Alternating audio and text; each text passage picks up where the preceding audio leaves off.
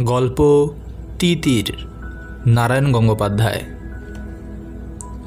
জুলফিকার, সুখলাল। একসঙ্গেই ডেকে উঠল দুজন। তারপর কয়েক সেকেন্ড এ ওর মুখের দিকে তাকিয়ে রইল কেবল। বাতাসে ছড়িয়ে যেতে লাগল লেবু ঘাসের গন্ধ। মাথার ওপর উঠতে লাগল একটা শঙ্খচিল। দুই দেশের সীমান্ত রেখা, দুই রাষ্ট্রের প্রতিহারী।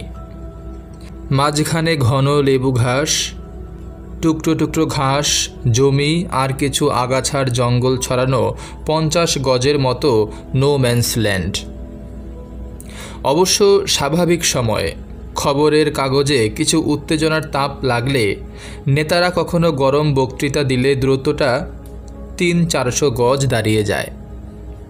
তখন মুখের রেখা কুটিল হয়ে ওঠে, বন্য আলয় জ্বলতে থাকে চোখ, হাতের রাইফেল উদ্যত হয়ে ওঠে। সার্জেন্ট মেজরে আসা যাওয়া বেড়ে যায়। আর আবহাওয়া শান্ত থাকলে অনেকটা কাছাকাছি এগিয়ে আসা, আর চোখে লক্ষ্য করা পরস্পরকে। এক ঘেমে কাটাবার জন্যে একটু আধটু আলাপ করবার ইচ্ছে। হ্যাঁ রে ভাইয়া হ্যাঁ রে ভাইয়া। আরও কয়েক সেকেন্ড। এ ওর দিকে চুপ করে তাকিয়ে থাকা। লেবু ঘাসের মিঠে গন্ধ ভরা হাওয়ায়। বিকেলের লালচে আলোতে অপ্রতিভাবে ভাবতে চেষ্টা করা কি বলা যায় এরপর? সুখলালের চোখে পড়ল জুলফিকারের গোফে যেন পাক ধরেছে। আর জুলফিকারের মনে হলো, এর মধ্যে যেন অনেকটাই বুড়িয়ে গেছে সুখলাল। বাঁ হাতের তালুতে ডান হাতের বুড়ো আঙ্গুল এতক্ষণ বাধা নিয়মে কাজ করছিল জুলফিকারের। যে কোনো একটা কথা আরম্ভ করবার জন্যেই জুলফিকার জিজ্ঞেস করলে, খৈনি খাইব? কাহে নেহি? সুখলাল স্বচ্ছন্দ হয়ে হাসল।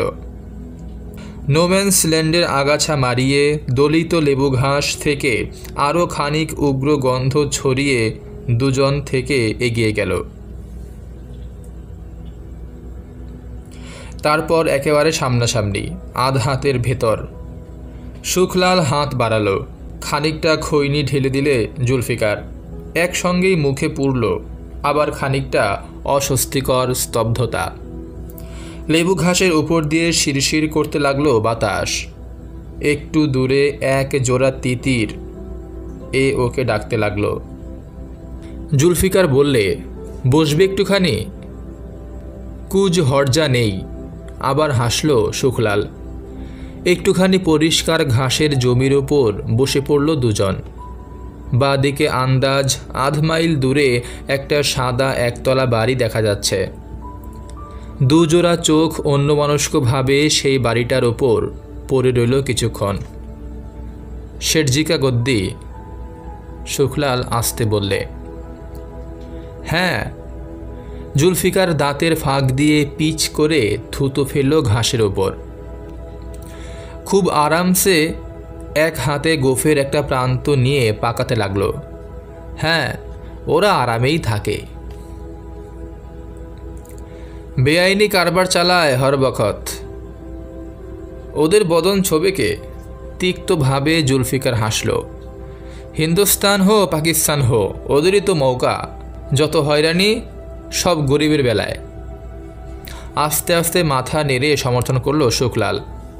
গরিবের অস্তে দুসরা কানুন। আধা শের সুপারি ইয়া শেরভর কারুয়া তেল নিয়ে বর্ডার পার হতে গেলে গুলি খেয়ে মরবে। আর গলি মারবো আমরাই। চাপা বিস্বাদ গলা জুলফিকারের। নকরি। হ্যাঁ নকরি। স্নিগ্ধ শান্ত বিকেল, শরতের লাল রোদের ঝিলিমিলি। লেবু ঘাসের গন্ধ, তিতিরেরা এ ওকে ডাকছে। শেখ ফরিদ কুদরত, শেখ ফরিদ কুদরত। ছেলেবেলার অভ্যাসে প্রতিধ্বনি করল শোকলাল। শেখ ফরিদ কুদরত, তেল নিমক আদরত। দুজনেই হেসে উঠল একসঙ্গে। জুলফিকার বললে, আমাদের গাঁয়ে নদীর ধারে অনেক তিতির থাকত। হ্যাঁ বহুত। আর জিমিনদার কামতাপর সাদজি বন্দুক নিয়ে তিতির মেরে আনত। এখন আর তিতির মারে না। অ্যাসেম্বলিতে ঢুকেছে এখন আদমি মারে। জুলফিকার মন্তব্য করল মৃদু হাসিতে। পাক্কা। সুখলালের মাথা নড়ল। কিন্তু কামতা প্রসাদকে ছাড়িয়ে দুজনের মন অনেক পেছনে চলে গেছে। ওদের গ্রাম, রেলের স্টেশন, ছাড়িয়ে পুরো চার ক্রোশ গায়ে ঢোকবার মুখে সেই কতকাল আগেকার নবাবী তালাও। তার একপাশে বিরাট মহল চকনাচুর হয়ে ভেঙে পড়ে আছে। রাত করে লোকে সেদিক দিয়ে হাঁটতে সাহস পেত না, জিনের ভয়। মজে আসা নবাবী তালাওয়ারের ভাঙা ঘাটে নাকি কত লোকে দেখেছে জ্যোৎস্না রাতে সাদা কাপড় পরা দুটো চুড়ৈল। সেখানে গলা জড়াজড়ি করে বসে আছে। ওদের ছেলেবেলায় এই জুলফিকার, এই সুখলাল আরও কতজন ডানপিটে রাত করে জিন চুড়েল দেখতে এসেছে, কিন্তু কোনো দিন দেখা পায়নি তাদের। একবার কেবল লক্করের ডাক শুনে ছুটে পালিয়ে গিয়েছিল সবাই। গায়ে ঢুকতে মহাবীরজির ধ্বজা, আরও এগিয়ে মসজিদ। কামতা প্রসাদজির মস্ত বাড়ি, মানুষের ঘরদুয়ার, বাজার। আরও একটু এগোলে পুরনো পীরের দরগা, একটুখানি মাঠ তারপর গায়ের নদী, শিব মন্দির, নদীর নাম ঝুমঝুমিয়া। ঘাসের বনে তিতির ডাকে। বালিডাঙায় চিকচিক করে ভাঙা ঝিনুকের টুকরো। বালির ওপর পায়ের দাগ একে একে চাহার দল ঘুরে বেড়ায়। তীর তীরে নীল জলের ধারে এক ঠ্যাং তুলে দাঁড়িয়ে থাকে বগুলা। এমনিতে হাঁটু ভোর জল, মানুষ গরু, ভৈসা হেঁটে পার হয়। তারপর একসময় আকাশের কালো মেঘেরা দল বেঁধে দেখা দেবার আগেই হরপা বান নামল দূরের পাহাড়ে শাল পলাশের বনে। আর বাপকে বাতাও।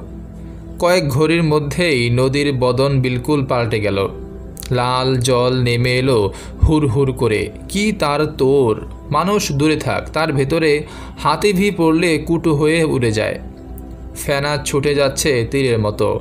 পাক খেয়ে খেয়ে যাচ্ছে গাছের ভালো জলের তলায় গড়ানো পাথর গুঁড়ো হচ্ছে মরমরিয়ে। আর একবার কান পেতে শোনো জলের ডাক। কে বলবে, এ সেই কুলকুল করে বয়ে চলা ছোট ঝুমঝুমিয়া মনে হবে, লাখো ভৈসা যেন পাগল হয়ে গর্জাতে গর্জাতে ছুটে চলেছে। এই নদীর সঙ্গে যেন ওদের জীবনের যোগ ছিল। ওই ঝুমঝুমিয়া নদীর সঙ্গে। ঝিনুক কুড়িয়েছে, বালি নিয়ে গেছে। শীতের দিনে নদী পার হয়ে কোচর ভরে নিয়ে এসেছে বোর। তিতিরের ডাক শুনে সাড়া দিয়ে বলেছে, তেল নিমক আদরত, তেল নিমক আদরত। কামতা প্রসাদের ক্ষেত থেকে চুরি করে এনেছে কাঁচা ছোলা আর কচি বেগুন। নদীর ধারে বসে পুড়িয়ে খেয়েছে। জুলফিকার, সুখলাল, আরও অনেকে। আবার নদীর মতোই গায়ের জীবনেও বান নেমেছে। হোলি মহরম, ঈদ মুবারক, দেয়ালি, দুঃখের রূপ নিয়ে দেখা দিয়েছে হায়জা। শীতের মাঠে যখন সর্ষে খেতে দেওয়ালি জ্বলেছে, তখন কোথা থেকে এসেছে প্লেগ? গাঁও ছেড়ে পালাতে শুরু করেছে মানুষ, আর বোরকা বোরকা সুই নিয়ে তেরে এসেছে ডাক্তারেরা। তবু বানের জল যেমন চলে যায়, তেমনি করে সব মিলিয়ে গেছে একদিন। আবার নদীর ধারে ঘাস বনের ভেতরে তিতিরের ডাক। সকালে সন্ধ্যায় শুনিয়েছে শেখ ফকিরদের মহিমা। বালি নিয়ে যাওয়া ঝিনুক কুরোনো ঝাঁক বেঁধে চাহার নাচানাচি। আসমানের চাঁদ তারার সঙ্গে পাল্লা দিয়ে দেওয়ালি জ্বালানো হাওই ছেঁড়া, কাওয়ালি গানের সুরে আতরের গন্ধে আর পোলাও কোরমার খুশবুতে ঈদের সন্ধ্যা আনচান। তারপর আর এক বান এলো। ঝুমঝুমিয়া থেকে নয়, এলো কলকাতা থেকে, এলো লাহোর থেকে। দেখতে দেখতে মানুষ জানবর হলো। গরুর মাথা পড়ল শিব মন্দিরে, ভাঙল মসজিদ, আগুন জ্বলল বাজারে। ঝুমঝুমিয়ার তীর তীরে নদীর জল দিয়ে ভেসে চলল লাশের পর লাশ। বগুলারা উড়ে পালালো। ঘাস বনের মধ্যে আর তিতির ডাকল না। শেখ ফরিদের দোয়া চাইবার মতো জোর পেল না গলায়। তখন কোথায় জুলফিকার, কোথায় শুকলাল? স্মৃতির ভেতরেই ঘুরে বেড়াচ্ছিল দুজনেই। চিন্তার এইখানটাতে এসে দুজনেরই চোখ জ্বলে উঠল একসঙ্গে। বিকেলের আলোয় জুলফিকার দেখল সুখলালের মুখের ওপর মেঘ নেমেছে। সুখলাল দেখল গোফের একটা দিক হিংস্রভাবে চিবোচ্ছে জুলফিকার। কিন্তু সে আজ কতকালের কথা? অনেক পানি, বহুত ধূপ, অনেক যারা পার হয়ে গেছে তার উপর দিয়ে। ভুলো ভাইউ বা ছোড় উবিদ গয়া। সময় এমনিভাবেই চলে। আজুলিকা পানি। সুখলাল হাসলো, জুলফিকার হাসলো। আজ আর কারও ওপর কারও রাগ হচ্ছে না। কি করতে পারি তুমি আমি? নসিব। বাতাসে লেবু ঘাসের গন্ধ। নিঃশ্বাস টানতে টানতে স্নেহ শীতলতায় জুড়িয়ে যায় কলিজা। বিকেলের লাল আলোকে দেওয়ালির আলোর মতো মনে হয়। এখন আর কোনো বিরোধ নেই কোথাও। দেশে যাও না? জুলফিকার জানতে চাইল। না, শুক্লালের ছোট্ট জবাব। তোমার ক্ষেত ছিল, হাল ছিল, কোথায় সেসব? ক্ষত শুকিয়ে গেলেও এখনও রক্ত ফুটে উঠতে চায়। সুখলালের চোখে কুয়াশার মতো আবরণ নামলো একটা। ভাইটা তো খুন হলো দাঙ্গার সময়। আমি চলে এলাম কলকাতায়। গোলমাল থামলে দেশে এসে জানলাম, আমার জমি আর নেই। আমি আর ভাই নাকি টিপ সহি দিয়ে টাকা নিয়েছিলাম কাপ্তা প্রসাদের কাছ থেকে। জমি কাপ্তা প্রসাদের খাস হয়ে গেছে। জুলফিকার নড়ে উঠল। নিয়েছিলে টাকা? না, কভি নেহি। হারামি? দাঁতে দাঁত চাপল জুলফিকার। এখন অ্যাসেম্বলির মেম্বার। হ্যাঁ ওদেরই মৌকা। জুলফিকার গোফের একটা প্রান্ত চিবোতে লাগল। রজ্জ পালিফি করাচিতে গিয়ে খাসা আছে। বড় মোকাম, বড় নকরি। শুক্লাল বললে দুসরা হারামি। তোমার বোনকে আর বলতে পারল না। জিভ জড়িয়ে এলো সংকোচে। জুলফিকার চোখ তুলল আকাশে, সূর্য আরও পশ্চিম মুখ, রোদের রং আরও ঘন হয়ে এসেছে। যেন এক আজলা রক্ত ঝরে পড়ল জুলফিকারের মুখে। গলায় ফাঁস দিয়ে মরল বোনটা। থানার দারোগা সব গড়বড় করে দিলে। কিচ্ছু হলো না রজ্জবালির ওদের কিছু হয় না। না, সব এক দলের। বিলকুল। আবার চুপচাপ।